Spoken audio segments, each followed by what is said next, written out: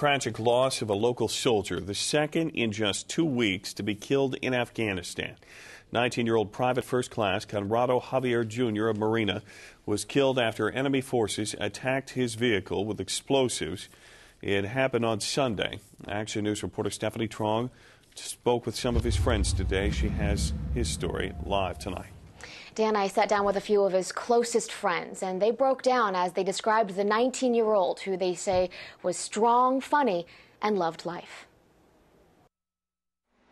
I'm going to miss Conrado. They were like brothers. We were a family.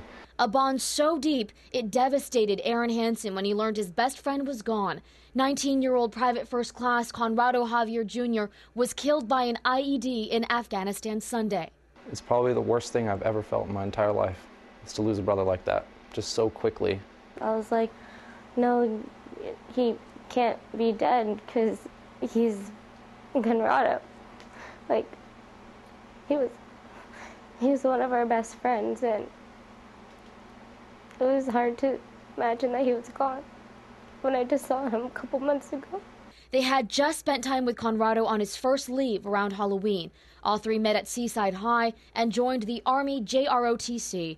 They described Conrado as a strong leader with an equally strong sense of humor who always defied that first impression. I was like, this guy kind of looks scary because he's all big and tough, but I got to know him, and he was actually a really friendly kind of guy. Melody Brazil is dating Conrado's younger brother. She was with his family when Army representatives knocked on the door to deliver the news no one was ready for. Everybody was just torn apart, like nobody wanted to believe it because like we were all sure he was coming back. They were sure of it because Conrado never showed fear, not even about patrolling a dangerous combat zone in Afghanistan, not even after he was targeted in a bomb attack months earlier. He laughed about it. You know, we got hit by an IED, flipped over the Humvee, just barely pierced the armor, man. It wasn't nothing. I was, I don't know. It was scary. It was scary to hear that. And then he went back anyway. Now these friends hold hands, coping with their loss right before Christmas. They say Conrado would have wanted them to skip the grieving and start celebrating his life. I'm going to try and move forward. I'm going to try and think of him and how much he sacrificed so that I can have a life. He'll always be here for me. He'll always be my best bro.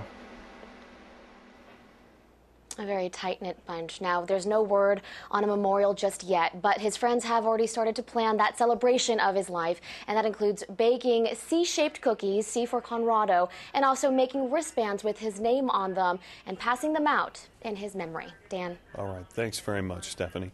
Just over two weeks ago, Staff Sergeant Vincent Ashlock of Seaside died in a non combat related incident, also in Afghanistan. He is survived by his wife and five children.